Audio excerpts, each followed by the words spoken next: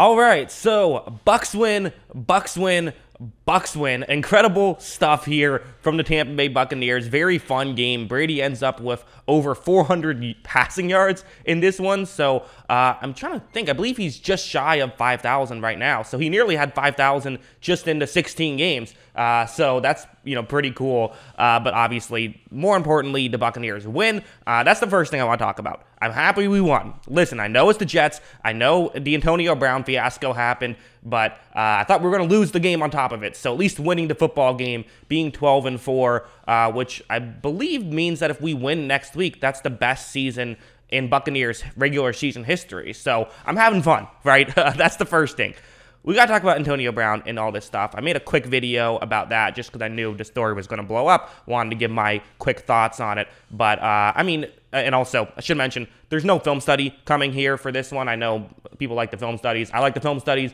but the reason why there is no film study is just uh, I wasn't planning on making one of this game, and then all of a sudden the craziness happened, and I just wanted to get my thoughts out on it. So I'm going to do kind of these things, which I like doing, these, uh, you know, general thoughts videos. But, anyways, uh, let's talk Antonio Brown. So now what I've heard, because I made the initial video talking about it, there's been reports that Antonio Brown was benched right before what we saw happen. Because there's also another side angle where you see Antonio Brown screaming at something, and then he kind of even, it looks like he screams at Evans a little bit, but I'm not sure. My guess is Evans said something to him, and then he said something back to Evans. Uh, and so then they kind of, uh, looked like Evans was trying to calm him down that's what it looked like to me. Again, I can't hear what's going on, so all we can do is kind of look at body language. Maybe it wasn't that, but uh, that's what it seemed like. And if that is the case, I think you know, uh, good on Evans for trying. But uh, I think what's more interesting about that is why was Antonio Brown getting benched? That's the question, and that's what we're going to have to have answered. And I don't know, maybe uh, Bruce Arians, like I don't know, we can't see the whole play, right? So maybe there was something where Antonio Brown just like wasn't hustling and and he bench got benched or something like that. That's just complete speculation. I have no clue, uh, but that's what I've heard. And again, we'll continue to update as we you know as the story unfolds more and more. Just craziness though. But I, I do think two things. A, it's incredible what Tom Brady was able to do. I guess three things. A, it's incredible what Tom Brady was able to do uh, with you know guys who aren't really necessarily stars. I mean, obviously you still have Gronkowski, you still have Mike Evans, but you know other than that, it's Cyril Grayson who had a big day in this one. It's Tyler Johnson, it's Breshad Perriman, it's Le'Veon Bell uh, who actually had some impact plays in the receiving game. So uh, not much in the rushing game, but in the receiving game. So that stuff fascinating. The second thing is how much of this is just the Jets defense being the Jets defense. That's a part of it. And by the way, Jets fans, I will get into your side of the game in a second. I promise I'm not just talking about Tampa Bay, although obviously, you know, I'm a Bucs fan, so that's where my bias is. Um, and then the third thing is I still have questions about when we're going up against good defenses.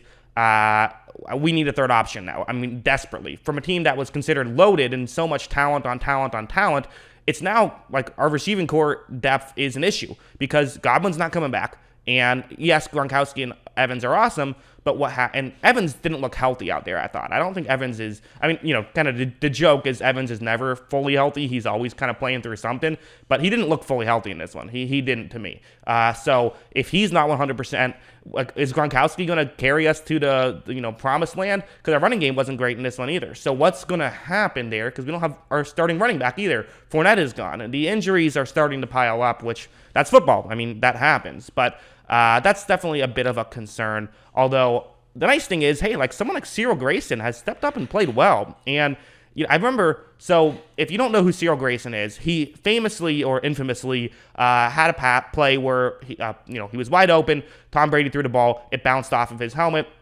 and then he basically got no playing time for the rest of the year. And I remember even the commentary was this was why you don't try to make track stars football players because you know he that's what he is. He's a track star, um, but he couldn't really you know make these plays.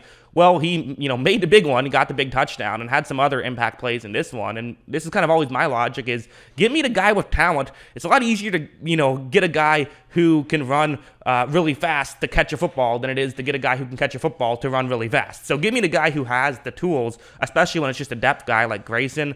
Uh, Tyler Johnson had a tough drop. Uh, he at least did have some uh, stuff on that last drive that helps, but you know you would like to see him start doing better. So there there's some stuff that you want to see happen more with this depth. But again, the nice thing is Tom Brady played really well in this one. I thought uh, you know, the interception was bad and it was on him in my opinion, but other than that, I did think he played really well. That that's how I thought about it. Excited that the Buccaneers were able to get the win.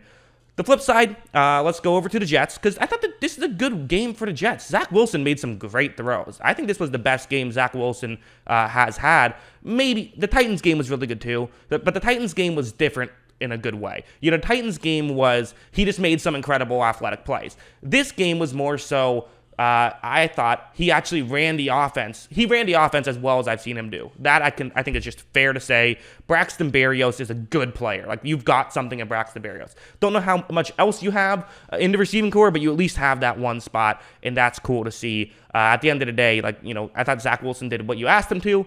We should talk about some of these questionable decisions. I think the main one is that uh, just weird play call uh, on the fourth down. I like going for it. I think that go, why not go for it, right? Because if you kick the field goal, then it's the difference between four and seven points. So basically, what you're doing with the field goal is saying if the Buccaneers score, uh, it goes to uh, overtime instead of you just went outright, or there's a two point conversion try. Whereas the value of going for it is if you get it, you just win. So I like all of that. I, I just didn't know if I loved that decision. I, I, think an outside run would have made more sense. They were having success with that. But again, uh, you know, there, I'm sure there was some logic behind why they did what they did. I just personally didn't really understand the logic behind it. Also, Michael Carter, uh, you know, really good stuff when he was on the field. Unfortunately, you know, uh, only got three carries in this one, but uh, I thought that you know what, what, what little we saw of him was fun. And now going back to Tampa Bay, just sort of to close things up, to put a bow on this again wild game. One thing, uh, did did the broadcast say something? Because I wasn't listening to the broadcast. I don't know why they went for two there at the end. I don't know what the advantage is of going up four instead of three there. I feel like that's you know you don't want to risk like a big return and then they can kick a field goal and win it. I thought that was a weird call by uh, the Bucs offense, but I'm not sure why they did that. That was odd. Uh, I guess a field goal then doesn't win it. You need a touchdown. I don't know. Uh, that was bizarre to me. Um, but a couple other things about, for one thing, the Rams lost, which is huge actually, because uh, with that loss, it means that if the Buccaneers just win out, this means that we can get the three seed. And the difference between a three seed and a four seed is big in the NFC. I, in my opinion, I don't want to play Arizona in that wild card game. I'd rather play whoever's the six or seven seed. Um, and so, you know, getting that, I feel like there's five really good teams in the NFC, and not having to play one of those in round one, uh, getting a better opportunity for round two, that that's what I want. Um, also, I thought Rob Gronkowski had a great game, as you know, typical as we expect from Rob Gronkowski. So that stuff is good.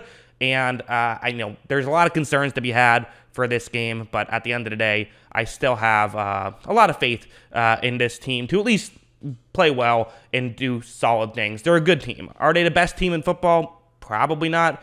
But I didn't think they were the best team in football at this point last year either, and they won the Super Bowl. So uh, it's still possible. They're a team that could win it. That's my main thoughts on it. So yeah, that's what I think. What do you guys think? Let me know in the comments below. Always love hearing from you. And of course, as always, thanks for watching.